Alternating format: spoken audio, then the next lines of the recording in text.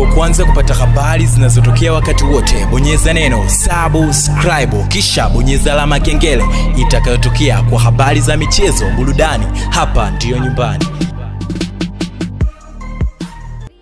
Yes, bwana, mambo vipi mdau wa soka?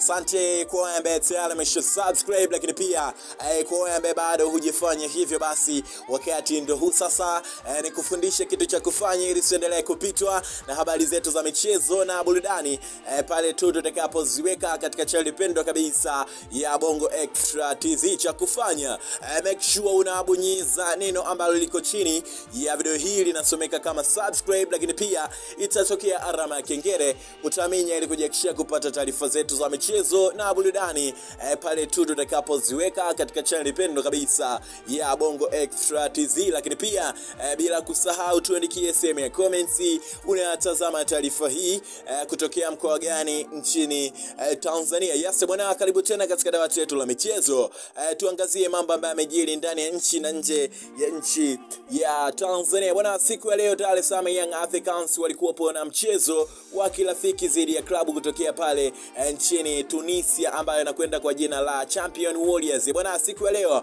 e, Dar es Salaam Young Africans wameweza kufanya mambo makubwa e, baada ya kushinda ushindi wa goli nne e, kwa moja, mabao mawili yakifungwa na zao kutokea pale nchini Burkina Faso ambaye alikuwa akitumikia klabu ya ASEC Mimosas pale nchini Ivory Coast. Hapa namzungumzia Stefan Aziz Ki, lakini pia e, bao moja likifungwa na Fiston Mayele e, zao kutokea pale nchini Congo ambaye aliwahi kuitumikia klabu ya AS Vita, lakini pia bao la mwisho kabisa limefungwa na Faisal. Mimi naweza nikasema kiukweli, Dar es Salaam Young Africans, mchezo huu wa kirafiki ulikuwepo ni mchezo ambao mzuri kwao, na tumeona kiukweli uh, kipindi cha kwanza Dar es Salaam Young Africans wameweza kufanya uh, mambo makubwa sana kushinda ushindi wa bao tatu, lakini uh, kipindi cha pili wameweza kuja kuongeza uh, bao moja ambalo limefungwa na Faisal. Mimi nikukumbushe tu uh, Dar es Salaam Young Africans wapo pale nchini Tunisia uh, kwa maandalizi dhidi ya mchezo wa klabu Afrikani uh, mchezo huu ambao Dar es Salaam Young Africans inabidi wafanye uh, juhudi sana warudi nyumbani na ushindi. Mimi nikukumbushe tu